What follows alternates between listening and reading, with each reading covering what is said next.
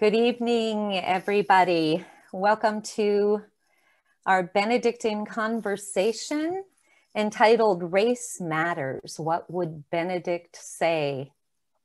My name is Dawn Carrillo. I am the director of the Center for Spirituality and Enrichment, which is a ministry of the Sisters of St. Scholastica here in Duluth. And tonight we have um, Marilyn Mayre with us as a co host. Marilyn, you can wave. um, Marilyn has known Carl, our guest tonight, for many years. And um, I'm really happy to welcome her as a co host tonight with this conversation. She's a retired teacher of 40 years, passionate about creating performances for storytelling. And she's also information with the Sisters of St. Scholastica to be a Benedictine oblate. Very involved in the monastery with lots of workshops, retreats, and volunteering. Our format tonight is going to be as um, prior ones have been. We're going to open with prayer in just a minute, and um, then we'll go into kind of a a Q&A time between Marilyn and Carl and myself. And then toward the end, we'll open it for comments and questions from you, the participants.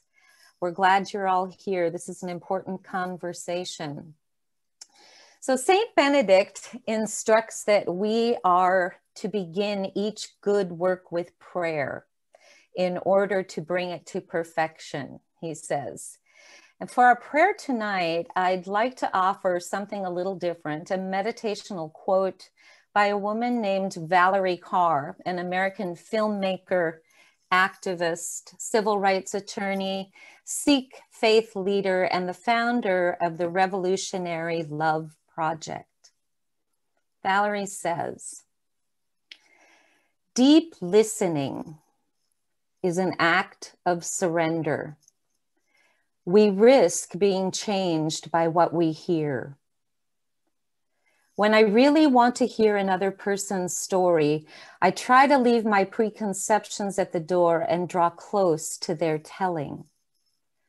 I consciously quiet my thoughts and begin to listen with my senses. Empathy is cognitive and emotional. To inhabit another person's view of the world is to feel the world with them. The most critical part of listening is asking what is at stake for the other person. I try to understand what matters to them, not what I think matters. When the story is done, we must return to our skin, our own worldview, and notice how we have been changed by our visit. And so I ask myself, what is this story demanding of me? What will I do now that I know this?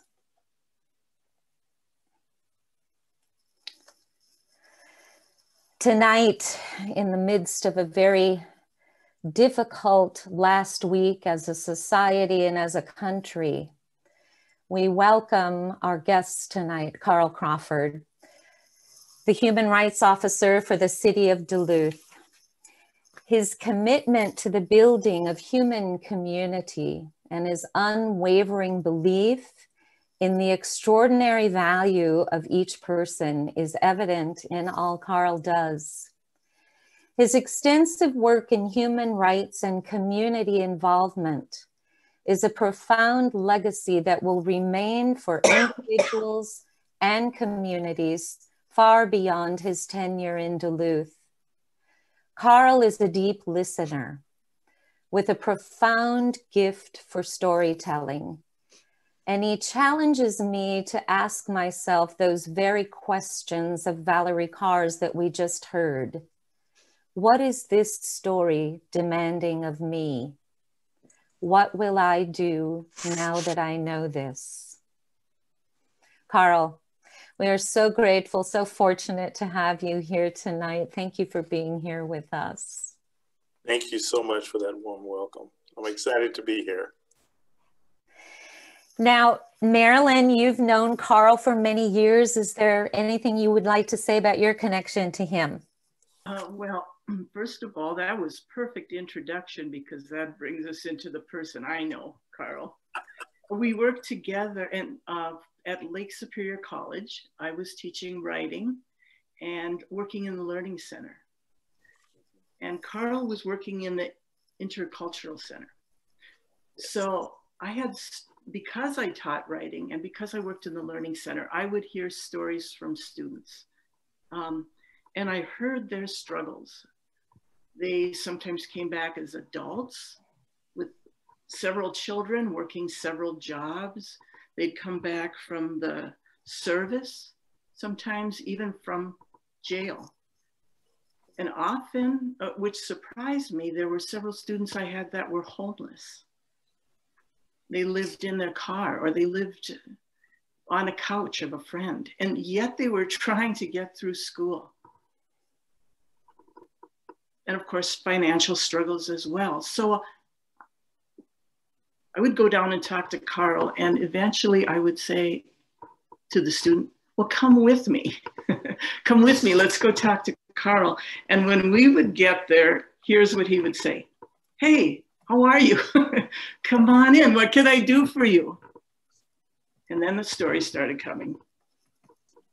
Carl, you exemplify listening with the ear of your heart. Mm. Thank you so much, my friend. And I remember and miss some of those conversations we had. And one footnote, I would say, not retired teacher, but always a teacher. Yeah. So I appreciate you for the work that you do. And glad you both are here on the call with me tonight. I'm, I'm really glad to be be here too, Carl. And when I'm thinking about the kind of compassion, the way that you listen to stories from students, the way that you just valued them, they could feel it because even if they weren't coming down with an issue, they'd come down into that little room and just sit there to be close to where you were. But um, how did you come to be such a compassionate and uh, caring person? What, were, what, what are the roots of your story?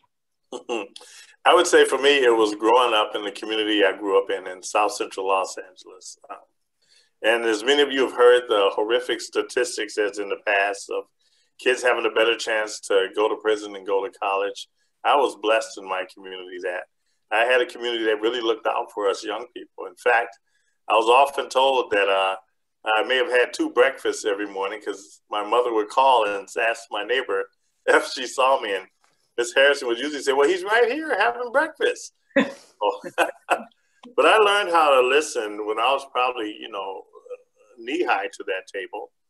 Um, and it's very customary in our culture for kids uh, not to be present when adults are talking. But I often listened and I had a, uh, a great relationship and an opportunity to really connect to compassion and being able to see when people were hurting and build that empathy. Um, so I was very lucky and fortunate that my parents modeled the way of, of doing some of that for me as well. And I've shared uh, with some and many in the past that it's ironic because my mother, uh, in her best way of raising me, actually taught me not to see homeless people. She used to point and say, "Don't look at that bum," or "Don't go over there because, you know, don't you grow up to be a bum?" Mm-hmm. Or they may have more money than you have, and it's a blessing that those are the people I actually seek out and work with today. Mm-hmm. I'm very honored to get to know their journey and their story. Um, so it's kind of come full circle. Yeah. Wow. Did do you remember a couple? I mean, you've heard a million stories are there a couple that really touched you that you could share with us? Always. Um, one story that I had in particular, uh, I was a part of this story. At this time, a friend of mine and I were in college, and uh, we were doing as most college students doing, trying to make the budget stretch. And we donated plasma. We both had just a little bit of money that we had from the plasma center here in Duluth. And as we were walking, this was back when there was a McDonald's in downtown Duluth. And as we're walking down the street, there's a gentleman who comes and approaches us and he asks us for money.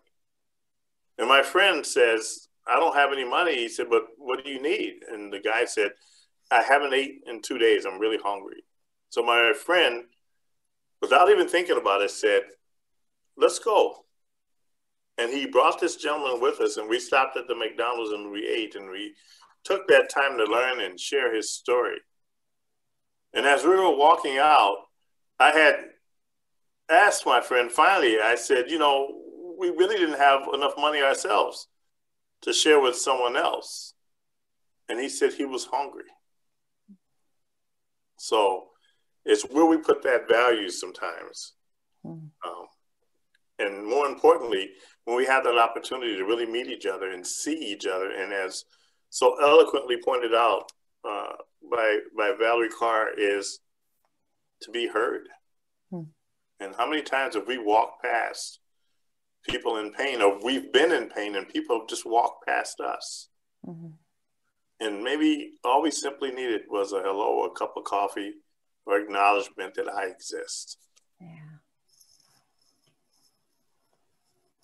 Wow. Carl, um, a lot has happened in the last year. Um, pandemic, racial protests, division, uh, deep division, the election and the aftermath, and now the violence and death at the protests at the Capitol last week. I'm wondering um, what is really sitting with you today? What is what is taking precedence in your heart? Thank you, Dawn. Today is the heaviness that I feel. I feel really heavy about the mourning of our country. Of um, it seems that if there's one thing that has survived the pandemic is racism. Um, the inequities, the loss of life. I've often shared the story that I have no problem letting community and people know that when I saw the murder of George Floyd, I wept. I mm-hmm. wept. And for me, I saw myself in George Floyd. I saw my grandfather. I saw my son. And the only difference between me and George Floyd is I got to go home that night. To be stopped as an African heritage man in America is a decision on life or death. And America finally had that glimpse into this window of what happened. And, you know, many bystanders there, you could hear them shouting mm-hmm. for police to stop what it is they were mm-hmm. doing. And with that one spark, that one glow of life that left us, it ignited a movement mm-hmm. across the world. And I can't help but feel a sense of loss as we had people protesting peacefully that were met with bayonets and, and, and bullets and shields. And then we see the backdrop of what happened in our nation's capital. For me, as an African American man, to see the Confederate flag for the first time. In the White House, that didn't even happen during the Civil War. But to see that emblem of hate, the Auschwitz t shirts, mm-hmm. and then to know that there were people who were complicit. Which leads me to the biggest question is how can we stand silent anymore?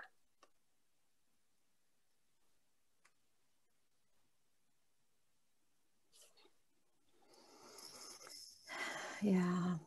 How can we stand silent? You know, silence. Um,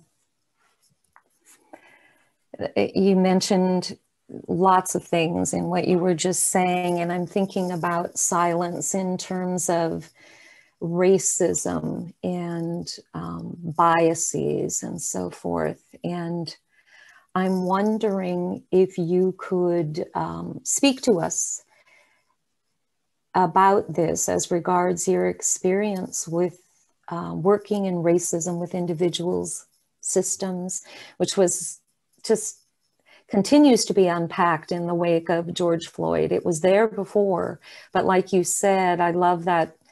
Well, I don't love that image, but that was a powerful image that you gave of him dying ignited this wave of protest. Absolutely. And this is a narrative that that my grandfather had with me growing up. Um, my grandfather was in Texas, and I used to go visit him in Port Arthur, Texas. Mm. And for those that know Texas, Beaumont and Port Arthur are kind of more the the poor communities, if you would.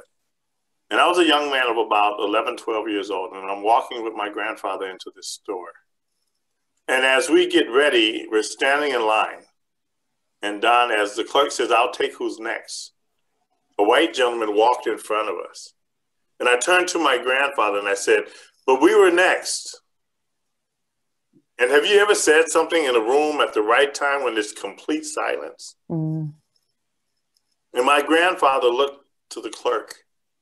And in a voice that this strong man has never used before, cleared his throat and said, um, he's not from around here. He doesn't know our ways. Mm. And the clerk, younger than my grandfather, looks at him and says, Well, you better teach him our ways. And as we walked out of that store, my grandfather leaned to me and he said, There are certain things in this world you just can't do. And for some reason, Dawn, I remember that sparked something in me that day. It didn't make me look at my grandfather any differently, but it made me look at the world differently. And I knew that that was not the kind of world I wanted to live in. And subsequently been working toward that. Hmm. And we were reminded of that world, that double standard, hmm. as we look at what's happening today. Right. Um, the whole world witnessed what happened, and now we're watching the double standard. We're watching the playing of, of you know, emotions and who's going to be tried and when is this going to happen. And all we're mm-hmm. saying is, where is the love? Yeah. Where is the equity? Where are the righteous people to stand there and say, we're not going to stand for this anymore? Because there were people hurt and traumatized and lost their lives.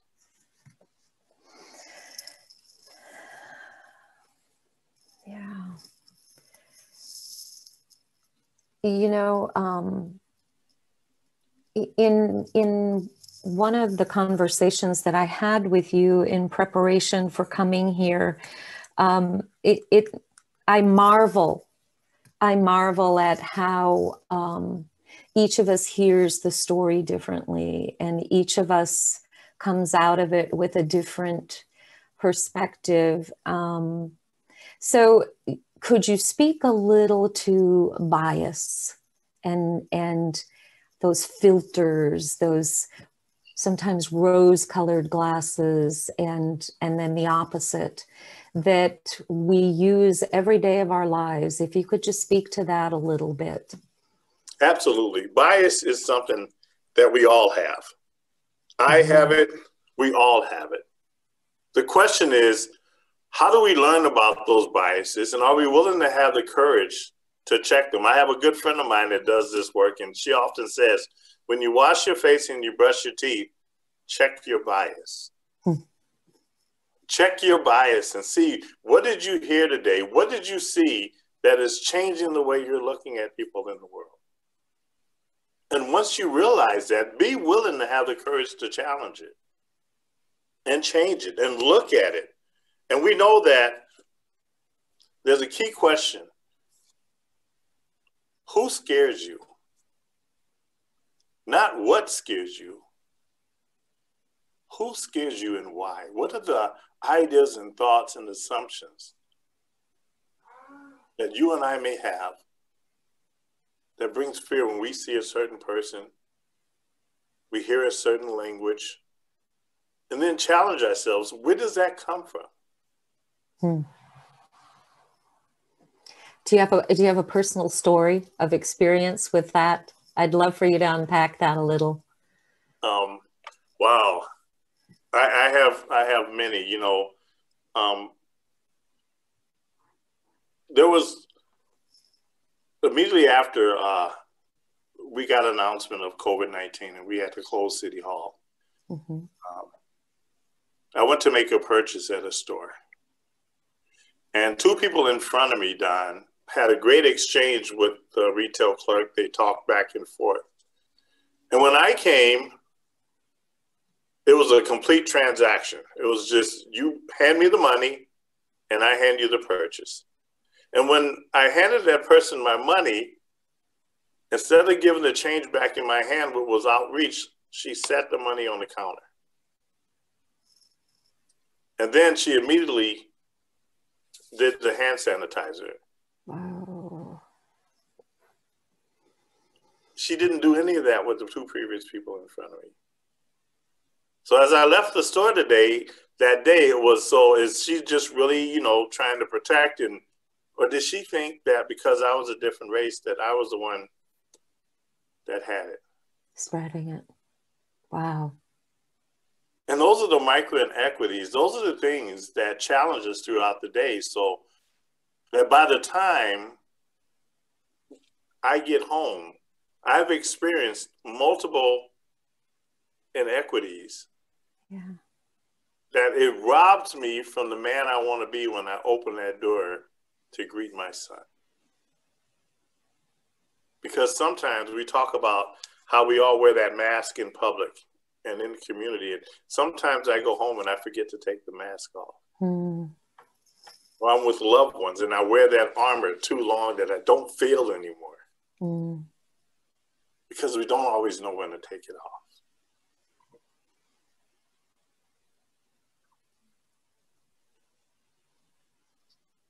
Hmm. I know, Carl, when I saw you at work with the students, how you listened and were really bared witness to what they had to say to you.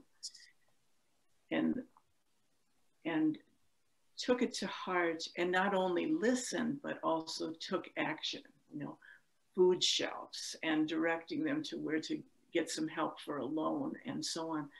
Um, it, it's it's so important that we can hear uh, other people's stories and it's so important to know what things can we do um, it's hard sometimes to know what things we can do i know you talked about talking with people who are close to you talking to your family in particular yes. I feel strongly about that yes and sometimes to be to be honest you know, Marilyn, we are more polite and more kind to people we don't know than the ones we love and who are close mm. to us.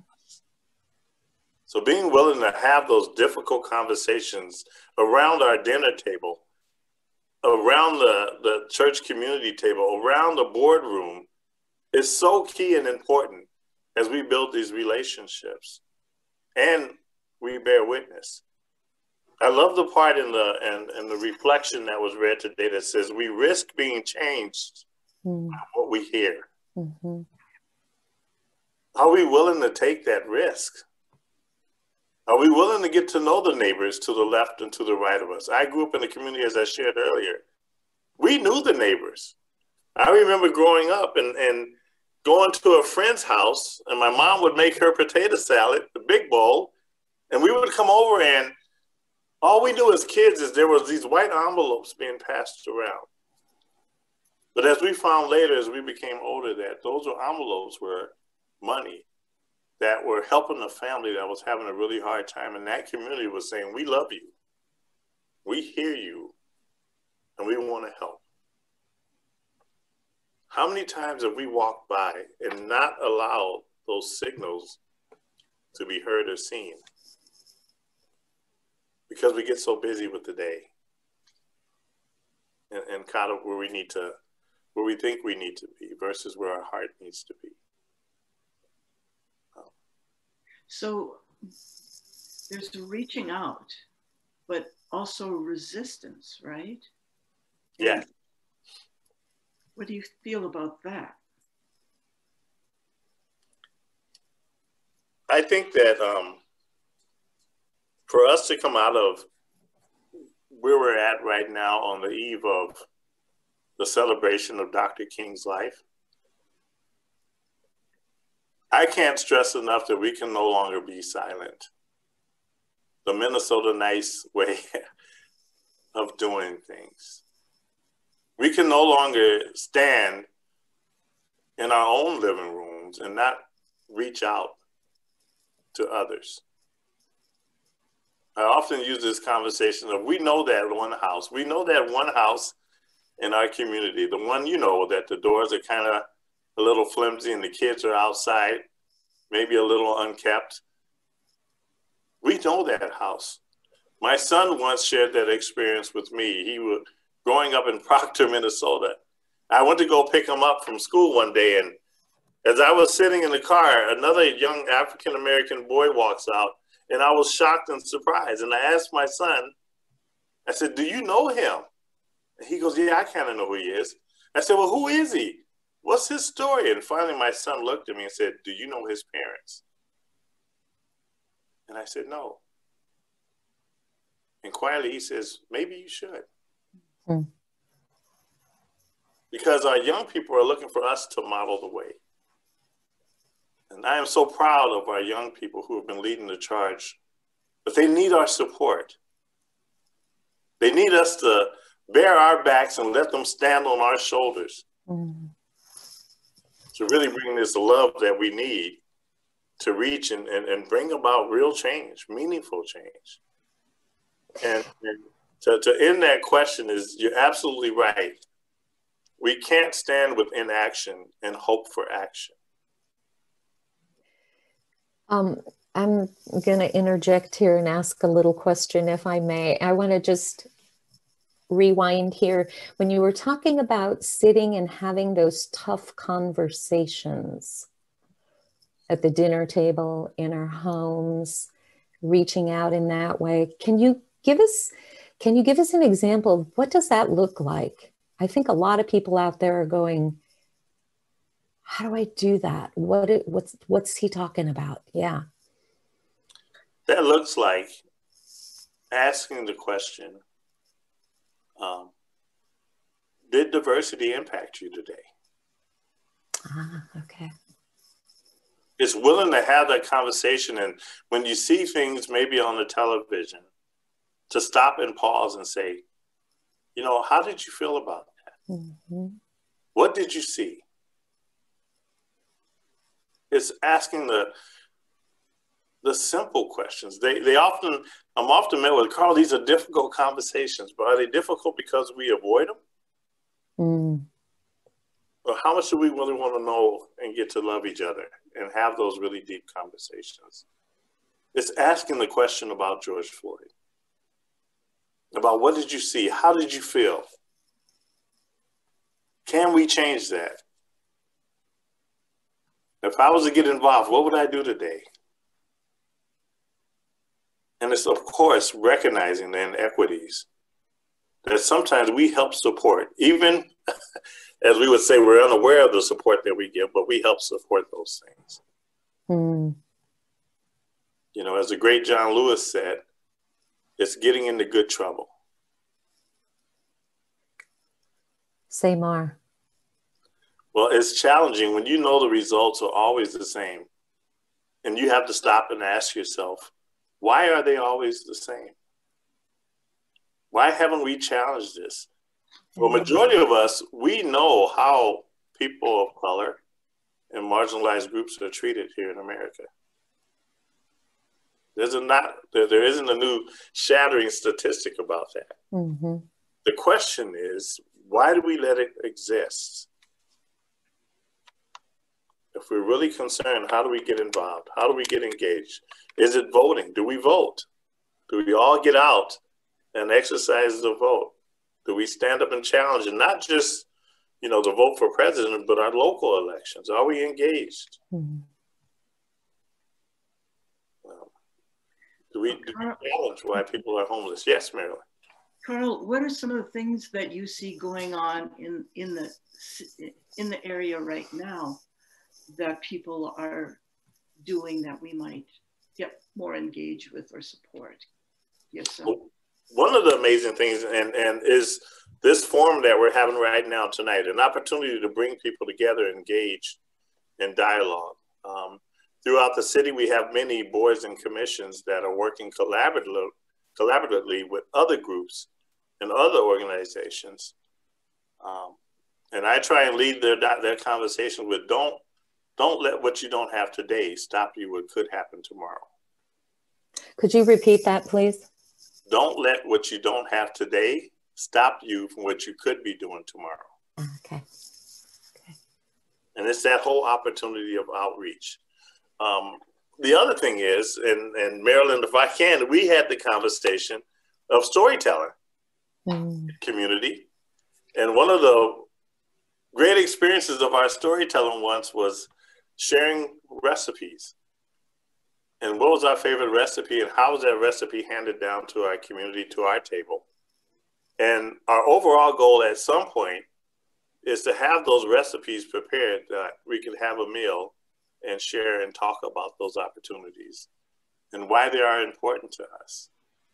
Um, I think food is one of the great things that brings us all together.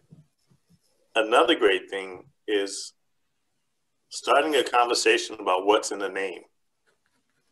So as you asked uh, the question, Mary, it, it's about what's in your name? Who named you? Why is that important? How has that impacted your life? And everyone has a name. Mm-hmm. So it's a great door to open to allow people to come in and bear witness and more importantly, find ways that we are together versus how we're so divided right now. And it's an easy way to start a difficult and I think uh, really great conversation. Carl, could you um, could you speak a little bit to the how you see the power of storytelling you just you ooze stories all the time every time i'm around you. And why are they important to you? Why do you utilize it? Where does it where does it come from? Um, i think you know uh, my grandfather that i shared earlier he was a minister out in texas. Mm-hmm. But storytelling brings people together. What it does is it breaks down stereotypes and myths and it finds things that build us all toward that common bond. If you like fishing and I like fishing, guess what? We can we can start from there. And hopefully those conversations will lead us into deeper, richer conversations. But it's a great connector. Mm. This is, I believe, music is another great connector that brings people together. And for that one moment, we are just two people in this universe having a conversation, but we are connecting. And it goes back to, uh, I still forget the name of the, the amazing forest that's out. I believe it's in the Pacific Northwest. That if you look at this forest, you see thousands of individual trees, mm. but really they are connected by one root how often do we forget that we are connected? That we are a part of something bigger than ourselves? That you matter and I matter and our kids matter and our families all matter and we're all connected. And that's what stories tell us about. Absolutely. Our connection. Yeah as we come up upon the day that we celebrate Martin Luther King, um, you said, uh, you mentioned once, Martin Luther King said, We haven't learned yet to love. Do you think that's true? Yes, he has quoted that. We have gone, we have gone to the deepest parts of the ocean and we have sent people to the moon. Mm-hmm. We have yet found a way to love each other. Um, so, what does that look like? What does that kind of love look like? How how uh, how do we embody that? I think it looks like that beloved community when, as the great Maya Angelou said, the two greatest moments in her life was the birth of her son and when your child became my child. Hmm. And when we really start to see that importance of each other, of connectivity, of love, um, that builds a strong community and it builds a strong bond. And I often mention that, you know, if people were to see where I grew up, yeah, they may see some of the crime and other things that are going on in that community, but if they don't know it, they'll miss it. They'll miss the enormous love that was there. Mm-hmm. They would miss the sandwiches that were passed door to door. They would miss, you know, when you went to the hospital, someone grabbed your mail. They would miss how much we cared about each other. And there was deep, rich love there. And I think that's what that looks like. Um, it's that warm feeling you get when you hear someone's name that means something to you. Mm-hmm. Mm-hmm. And, and that's what that beloved community looks like. Yeah. I, I think about the um, opportunity we have to understand someone more deeply through story, too. When we did that project um, called What What We Carry, yes. We, uh, Carl and I did some stu- suitcase art together with students. These were the students who were homeless.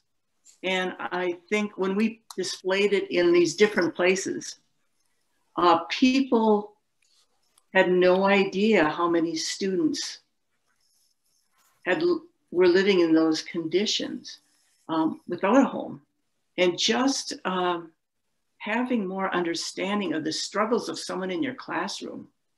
Mm-hmm. I mean, of not having a place to um, work, a computer to use, a way to communicate. Um, and so hearing experiences and I think of this very unfortunate time that we're in that sort of is awakening a lot of things of a lot of experiences we have not have not registered with us before. Yes. It's so important to realize struggles people are going through. And the importance of faith right now in our lives. You know, keep in mind, these horrible things are happening all under the backdrop of a pandemic. Of a pandemic, yeah. So when we think about Dr. King and some of these other things, he was always about gathering. There were always this big movement. I don't think you can think about Dr. King and not think about the March on Washington. So, how do we bring and share love when we can't be together? Mm, mm. You know, even in our conversation here tonight, in most cases, folks have to be invited, and we have we have isolated ourselves. Think about this for a whole year. The majority of the people we talk to are the ones that we have invited, that we have connections, that we Zoom with, or so we've missed that opportunity for us to interact to see each other, to create new friendships, to break down stereotypes in the normal way we used to do it by just interacting, just being in the office together, hearing someone saying something, or being at a restaurant. All those things now have changed. So we have now isolated. I just had something pop in my head. Did we isolate love? Huh. Huh.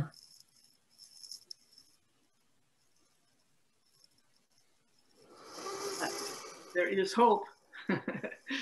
let, let me, I, I think let's move to, I'd love to get some comments from out there with the participants, comments, questions. Um, I have someone with their hand up here. It is um, Laura, I'm going to.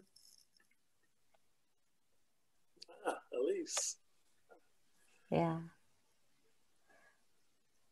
Laura, you would have to unmute your microphone if you had something to ask.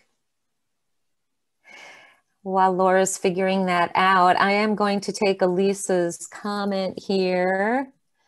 She says, Carl, Marilyn, and Dawn, thank you for this beautiful and powerful conversation. Carl, what do you see as the strongest areas of inequity in Duluth? And what do you think are some examples of the greatest sources of hope in our community? So, strongest areas of inequity and some examples of the greatest sources of hope. Thank you so much for that Wonderful question, Elise. I hope you and your family are doing well. Um, the strongest areas I believe are are in education, and of course in our court systems. Um, I think our court systems have recognized that there are these gaps and inequities, and they're working toward changing that. Um, when I say our educational system, it's not toward the teachers. I think we have teachers that do an amazing job. But what I think our teachers and our police force are asked to do more than they ever originally were set up to do. Um, and in doing so now, with um, the challenges we have around broadband and rural broadband, we have lost so many kids mm -hmm. and so many families. And when you think about this, you know, typically you'd have a couple of snow days during the school year. And as we mm-hmm. found out with those snow days, as as Marilyn talked about, sometimes that meant that that family didn't eat because the kid ate at school. Mm-hmm. So now that problem is exacerbated with education because we have kids that we've just lost. We have kids who are sometimes in unsafe homes. Uh, we have families that may have one computer if they're lucky. So if you have multiple kids, in the household who gets to use the computer. Um, but where I see the biggest hope is within our community. We have amazing organizations that are doing the heavy lifting. We have stories that I shared earlier of someone taking someone to lunch or buying a meal that we don't always hear about, but it's happening um, we are connected with our seniors in ways that we weren't before. We're calling them, we're checking in on them. Um, and I see hope in our healthcare system. We know that COVID has affected Black and Brown people much differently. But hopefully, um, with the rise of a vaccine, we'll see that changing. Thank you, Carl. We have a comment here from Michelle. She resonated with what you said at the beginning of the conversation, Carl. She says, Thank you for sharing the wisdom of listening. I was the youngest by seven years of my siblings. I listened to all of the adults that my parents visited. I always had a book so that it looked like I was reading, but I was listening. I never really thought about how much I learned. Yes, absolutely. Another fly on the wall. yeah. She also mentioned uh, an image of the scaffold before the crowd reaching the Capitol last week. Must have been, um, yeah. Tamara says, Thank you for your sharing tonight. This is so powerful. Um, Gary Bullhauer says the lynching of George Floyd and so many other people of color by police forces indicates that our system of policing needs significant change. What kinds of changes do you think we need in Duluth? And how are we doing in terms of moving toward those changes? Wow. Um the most significant thing is what we're talking about right now, and that is creating more opportunities to um, get to know each other and engage with each other.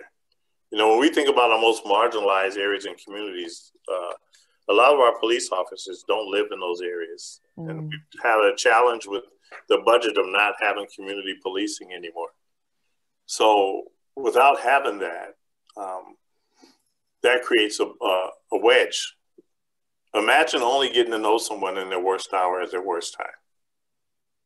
Mm-hmm. So one thing that I know we're looking into and hopefully proposing is um, how do we create opportunities for police to engage outside of the uniform? Because mm. one of the ways they used to engage was uh, the police athletic league. And they used to have officers who would want to coach and coach youth teams and get to know families and communities outside of the uniform. So if things did happen, um, you got a chance to have a friend to come over and try and help a very difficult situation instead of someone that you only seen when bad things happen. And I, I believe in in uh, in Resmaa's uh, book, My Grandmother's Hands, that talks mm-hmm. about if you're seeing police officers always in community showing up when bad things happen, and then you see them in school, you're triggered again, and that trauma is happening again. Um, I know for myself to to see the Confederate flag, to now see some of the hats and other things that we witnessed seeing, you know, um, at the Capitol. I, I just got back from a trip and it was visceral as I'm looking on high alert at, at who's around me. Um, because there is fear. Mm. You know, and we, we, we soon forget the bomb that went off on Christmas Day in Tennessee. Mm-hmm. Um, so we're living at a very tumultuous time. So it's faith and hope and breaking down those stereotypes. we, we have to talk and get to know each other. We have a comment here from Heidi Johnson. She says, I'm a librarian at the college working with information literacy, and I'm wondering about your thoughts on how misinformation has been feeding into the rampant conspiracy theories. What role can personal stories play in combating this, this misinformation? How can we work against these conspiracy theories that feed into bias and racism? Great question. I think one of the most important things we can do is learn how to start talking with each other and not at each other. Um, there have been difficult elections within our country for years, but this one we have debated to death. We haven't created opportunities for us to listen to each other, not to change someone's point of view, but to listen and find that common ground and say, tell me how you got there. And if I may, I'll just share a really brief story of how this impacted my life at Lake Superior College. As I was in the, in the cultural center after graduation, a young lady who graduated came in with her father and she said, this is in, the cultural center. And uh, Mr. Crawford, this is my dad. And I reached my hand out, and her dad shook my hand, and she went, and she came back a day or so later, and she told me, I really need to explain to you why I had such a reaction when my dad shook your hand. She said, when my grandfather went away to war, him and my nana had only been married for a month. And he went away to war, and he promised my grandmother that he would buy her a set of china dishes. So he saved up his money. And when he bought the dishes, two black soldiers stopped him on the base and they broke every dish. So her grandfather came home from the war unscathed, but he brought hate and racism with him from that mm. experience. Mm. And he passed it on to his family. And she said, When I saw my dad shake your hand, I saw hope mm. that things might change because her grandfather had passed on, and now it was a new opportunity for this family to maybe get under the veil of that horrible tragic, that horrible thing that happened to her grandfather. But sometimes those experiences we spew and we send those things down to our family.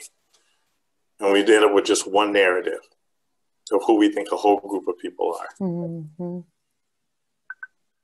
Wow. That's a powerful story.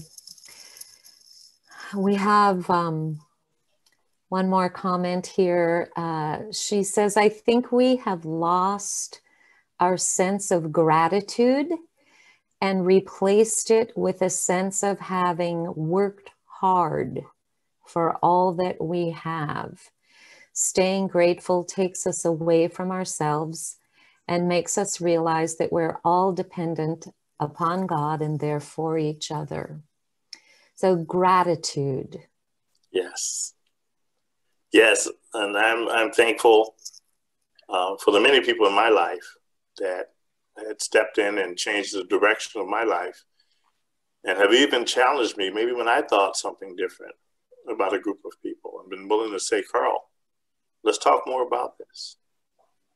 Because um, what's scary is it's it's it's so easy to fall into that slippery slope if you don't have ways to check and balance how we're feeling and how we're seeing each other, mm. the assumptions we have about each other. Yeah. Carl, um, how do you nourish yourself? How do you smile? How do you laugh? How do you, what do you do to keep your spirit of gratitude? I am very lucky and blessed to have a core group of of other African American men that, as we say, we fill each other's cup. Mm. Um, we continue to understand that sometimes it's not about it's not just about us, and and we laugh. We often joke and say we cry in the shower. mm. uh, that's when the tears come. Mm. But also know that there's great joy in the work that you are doing, in the work that you know Marilyn Mary is doing.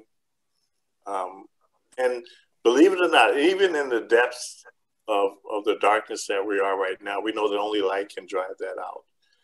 And if you look for it, it's there. It's people who are doing amazing things. It's that that that officer that they show at the Capitol who kept running to pull that crowd away from where the cabinet was because they didn't know where it was. So mm. he ended up having them chase him. Mm-hmm. And to be honest, there's a poem that I often read, and it is I Know Why the Cage Birds Sing. Yeah. Maya Angelou, that mm-hmm. that settles me too. Mm. A great poem that really looks at the contrast of life even today. Wow. We have a comment that says, I love what you had to say about the power of stories, Carl. For me, our personal and communal stories of growing up in close, homogenous cultures both shape and limit us. I was raised in a working class white Catholic community. I was powerfully formed by this small, loving town, but my story was limited because I grew knowing and seeing only other Catholic working class folks. Can you comment, Carl, on ways our early personal stories can limit as well as nurture us? Wow, that's very powerful. Thank you for sharing that insight. Um, and it's absolutely true. Growing up where I grew up in my community, we we had no white people in our community. Um, mm. So the first time that I had an experience with a gentleman that was white, we were at a basketball camp and we were roommates. And the first night, I made the comment that he was rich and that he had nothing to worry about. He almost fell off his chair. He said, What do you mean I'm rich? I'm on scholarship like you are. and from there, again, storytelling, we got to understand the contrast of each other and just open our world a little bit. And as we became more comfortable with each other that week, we got to challenge some of those myths and stereotypes. Hmm that the world laid before us. And as Edward R. Murrow said about the television set, he said, this thing is either going to uh, change your mind for the better um, or it's going to create chaos. And, and storytelling, but also being willing to listen to someone else's narrative um, hmm. and bear witness. And when I say bear witness, it's I, I, not to hear your story so I can change it to fit my narrative, mm-hmm. And the way you tell it is the way you tell it. So I'm not going to correct your language. I'm not going to challenge your verbs, but I'm going to listen. And we come from a society that we want to fix everything, but sometimes people just need us to listen, mm. just hear what's going on. Um, and I've learned that too, because sometimes it's not to fix it. They just want someone else on the journey. They can figure it out, but they want someone else to hear what's going on. Mm-hmm. Hmm. We have a comment from Natalie, and she says, Carl, thank you for sharing yourself with us tonight. Are there any particular scriptures that are guiding you and or ministering to you right now? Wow. There are many. Um, I'm going to grab it because I don't want to. I don't want to misquote. Um, but the biggest one right now that, that comes to mind is Lord, make me an instrument of your peace. Mm. And of course, the quote from Dr. King, which is similar, is to make us all drum majors. We can all serve. We can all serve. So those are the, the, the two that are, are most prominent right now. Is how do we make ourselves an instrument of peace? Is it through our voice? Is it through listening? Is it through writing? Is it through bearing witness? Yeah.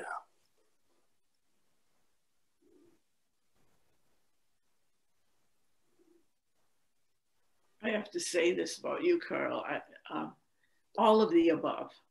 For you, I'm a, I'm amazed at all the things you do, where you work, how you have even done performances, how you tell story. I mean, um, we are so lucky that oh, you, you, are and that you are here in this uh, with us here. You're just a great example of how to be in this world. Well, thank you so much for those kind words. Um, as I always said, I'm a I'm a work in progress.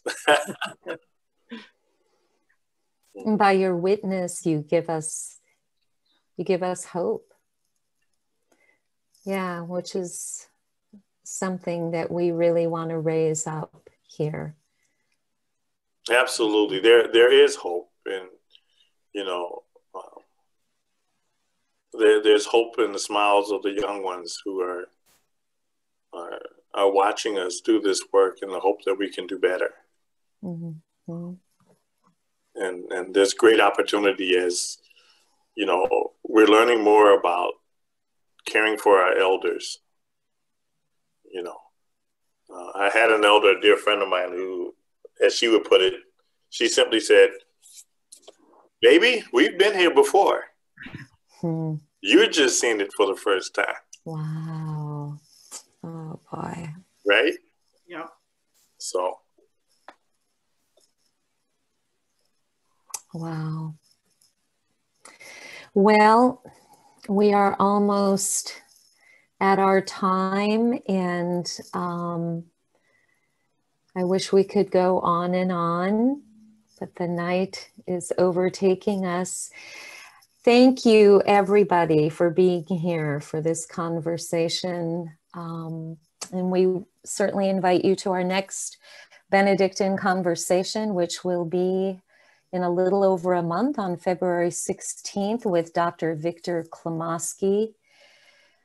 The Creative Potential of Crisis, a Benedictine Perspective and that registration link will be coming out soon. I want to thank Marilyn for being here with us tonight. Thanks so much, Marilyn.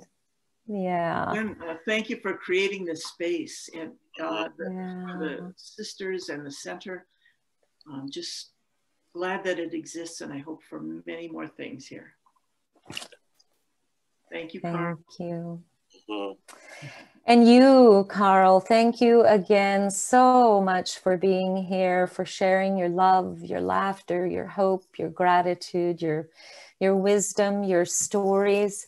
And I want to ask you what words you would leave us with tonight. Love always conquers hate, and to pray for our leaders and pray for our families. Um, we're going to need that. We're going to need divine help uh, to bring us all together. Yeah. Thank you. Thank, Thank you. you. And from the Sisters of St. Scholastica, on behalf of the Sisters of St. Scholastica and the Center for Spirituality and Enrichment, to everyone with us tonight, blessings of peace, hope, and joy as we move forward in 2021.